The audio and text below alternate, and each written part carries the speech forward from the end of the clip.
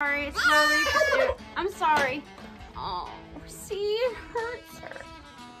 I'm so sorry, baby. No, you want mine?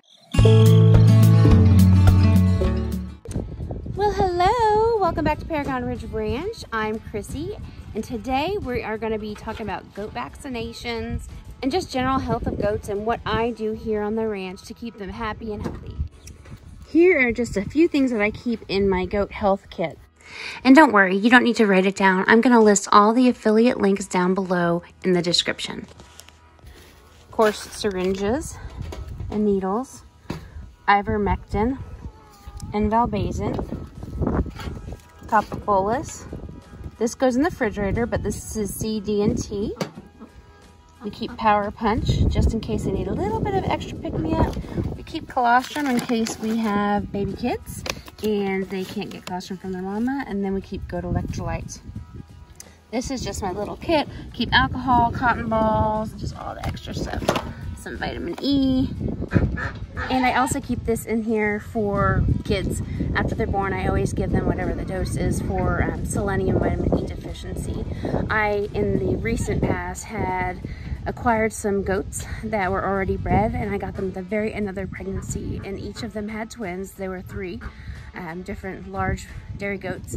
In all three of them, I lost all the babies, and I strongly feel it was because they were selenium deficient. So today I'm going to measure my goats to get their proper weight. On the ivermectin, you have to be pretty precise on the weight. All right, let me explain some of these vaccines to you. Ivermectin is a wormer. That is what it looks like.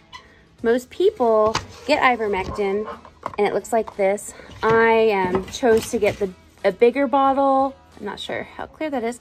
I chose to get a bigger bottle that um, was a little less expensive. I think it was only a dollar or two cheaper, but hey, every dollar counts. So what ivermectin does, it protects against barber pole worms, stomach worms, thread worms, and lice.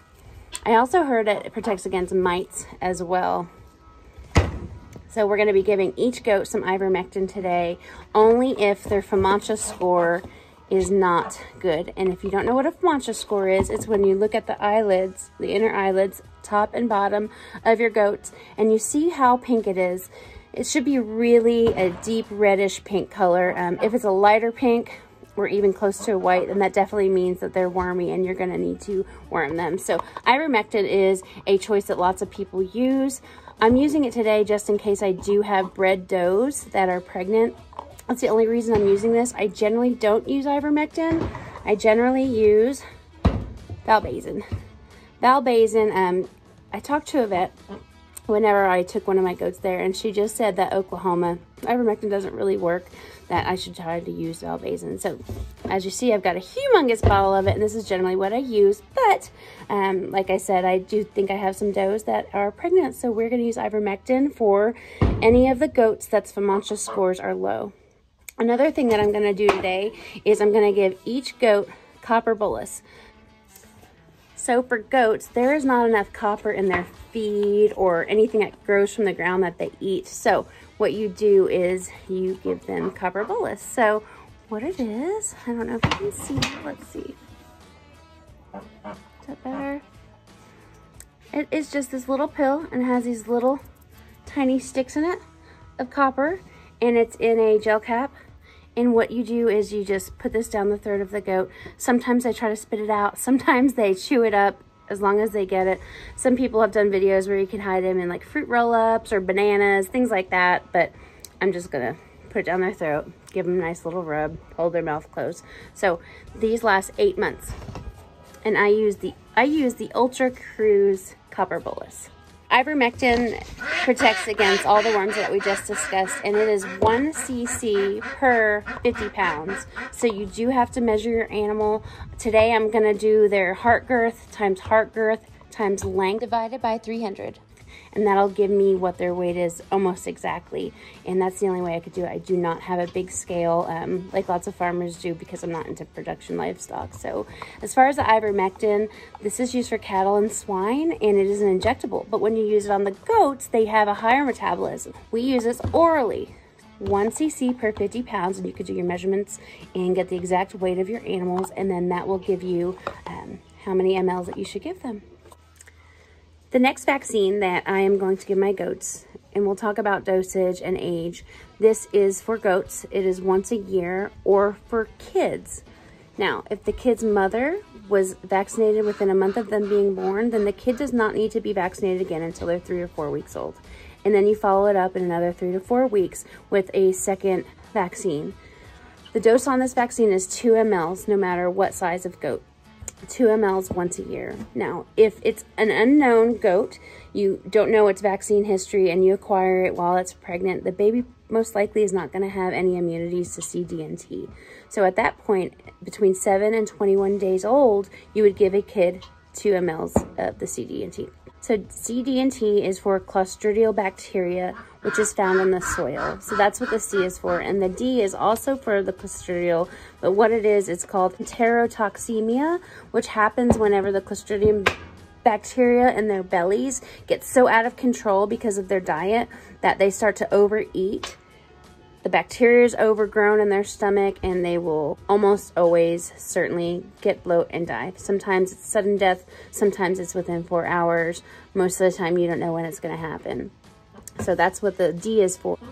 The T is for tetanus toxoid, and we should all know what tetanus is. If they get a wound, somehow scrape it on barbed wire, on a, on a tree, on a stick, on a rock, and it becomes infected, they can get tetanus, which is lockjaw, and essentially they will die as well. So this is a have to for all goats once a year. This is going to be given by sub-Q. We're going to use a one inch needle. It calls for an 18 to 20 gauge. I'm to do a 20 gauge. I know it's just a little bit smaller. I really hate giving my goats vaccines, but I've got to do it. And the last thing that I'm to do is if I think that any of my goats are pregnant and also as soon as they have babies, the selenium with vitamin E. I'm to give all the mothers that I think are about to have babies some selenium. Hopefully it'll get in their system, pass along to their baby. Um, I don't think we have a problem with the feed that I give them. They have loose minerals, but I still want to go ahead and give this to them so they can pass it along to their kids. I've showed you all my supplies. The next thing I've got to do is measure. So this is gonna be fun. I'm gonna set up the tripod and try to maybe on the first or second kind of go step by step and explain it to you. However, I think I'm gonna have to put it on a time lapse to get them all done because there are so many goats out here. So let's get started. So now I have to gather all the goats. So watch this.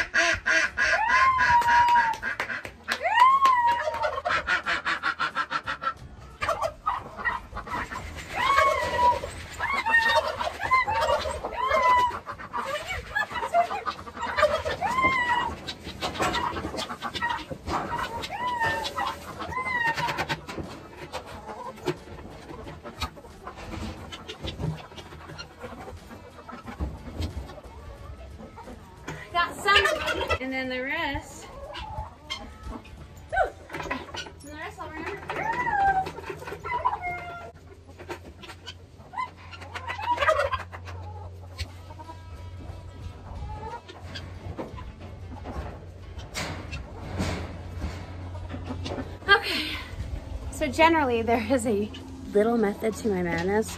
So I was able to get them in here where they go night-night. I was able to get them in there and then I was able to feed some of them over here and they're eating. And all that's left is some babies. There's two babies out and then two black ones, which one of them's right here. And this will make it so much easy that I can grab one at a time. It's gonna be perfect. Okay. So first, we're gonna get some alcohol. We're going to take the Ivomec. We're gonna open it up. Shake it really good. Gonna clean that off. We're gonna take the CD&T. Gonna clean that off. So this one is 2 cc's or ml. 1 ml is the same as 1 cc. So this is 2 cc's for any size or age or type of goat.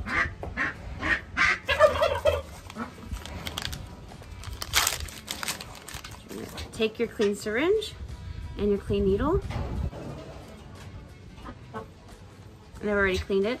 So you drop two cc's to keep even air pressure in there and you put it in there.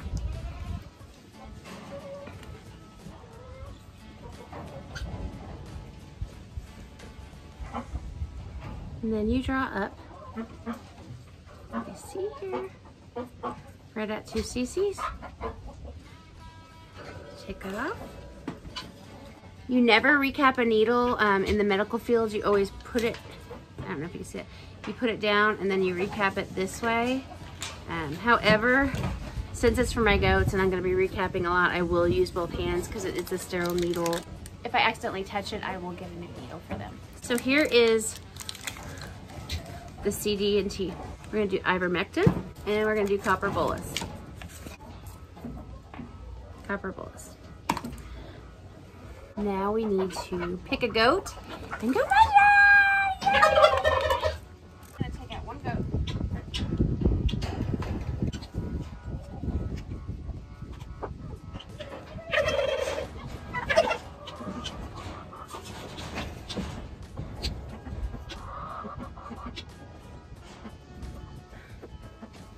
see what happens when I try. So let's do Snickers.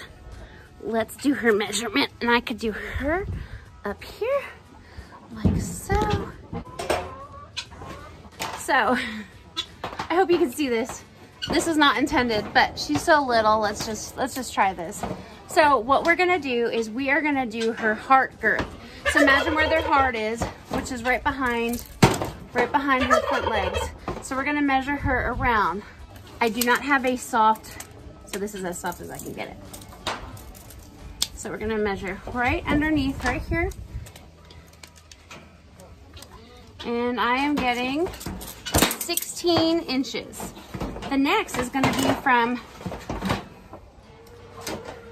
the front of her all the way to her pin bone.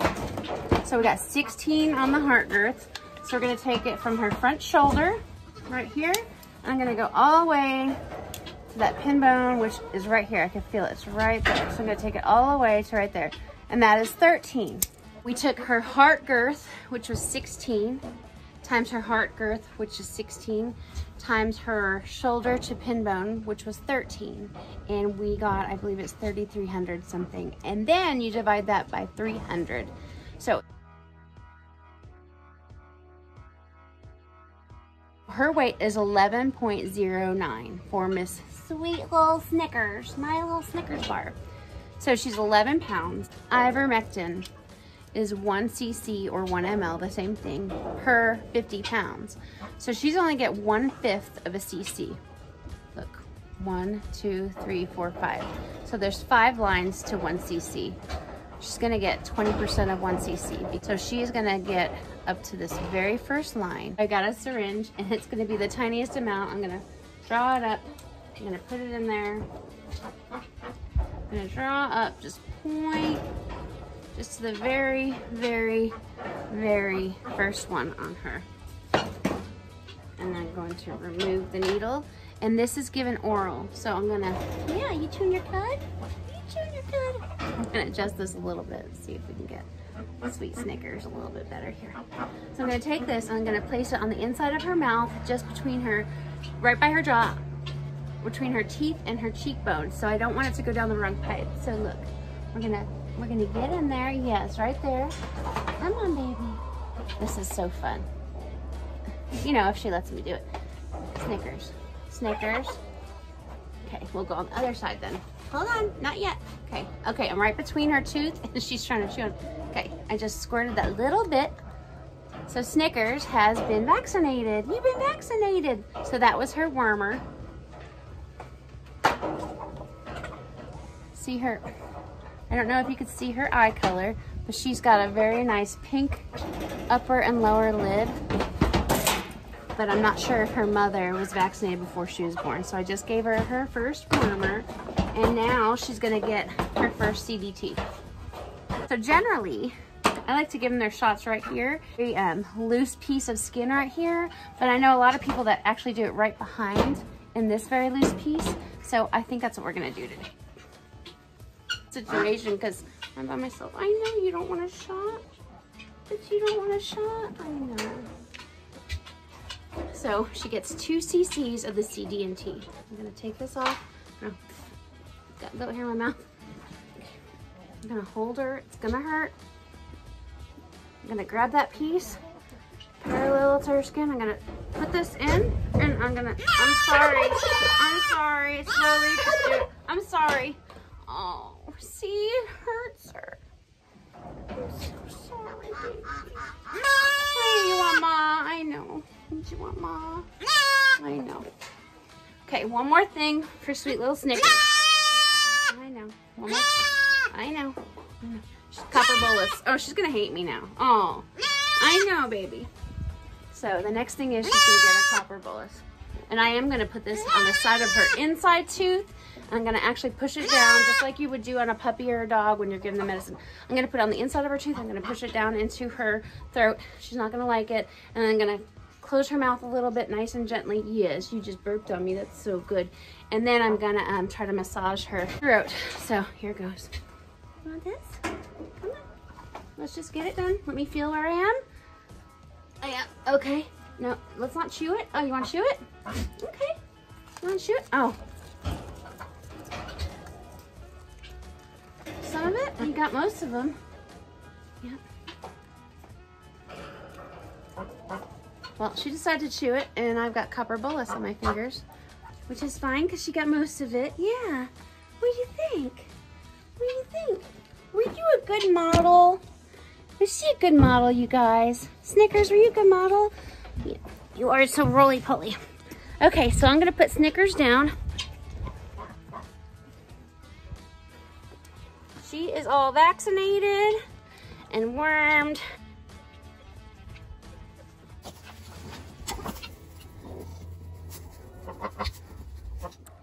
Now we have to get our next victim.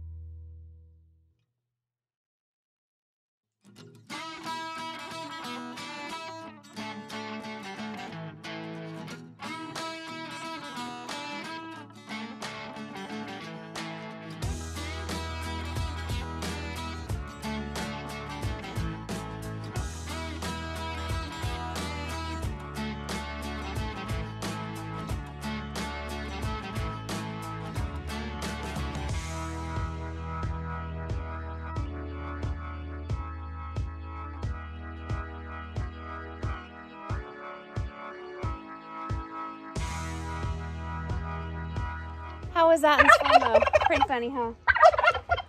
Okay, I think I'm halfway done. They escaped where I locked them up at, and I was able to kind of coax some of them in again, and I'm feeding them, but it's getting dark and it's getting cold, like my nose is running, and my knees have been horned a lot, and I've got blood on my hand from one of the babies that um, was bleeding where the shot was. So that was not very fun. But half of them have had all their vaccines, copper, CD&T, and also worm. Half of them were not wormed because their FAMACHA scores were beautiful, like beautiful. And of course that would be the two Picos that I did. I have not done my, uh, have not done my New Zealand yet, but of course he never gets wormed because he's just got beautiful FAMACHA scores. The babies got done as well.